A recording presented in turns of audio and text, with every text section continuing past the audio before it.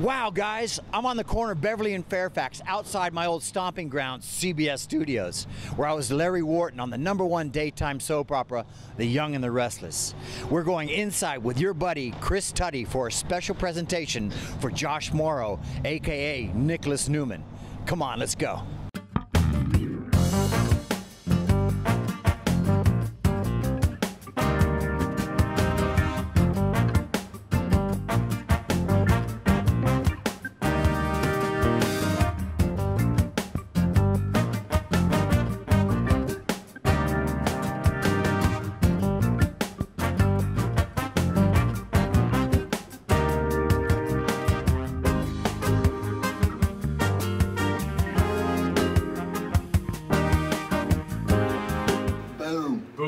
Powered by Zomongo.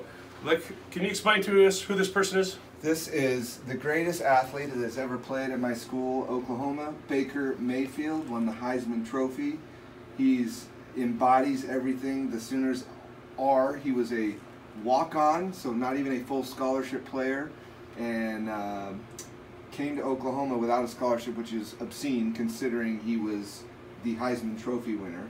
And he's the greatest leader I've ever seen on a sports field, and I just love his cocky swagger, and he doesn't take shit from anyone, and I love him. I, I love him. Kind of reminds me of a couple guys I know. Yeah, reminds me of Yeah. us. Us, Uh, I I, so. wish I was him. Yes. Look at this.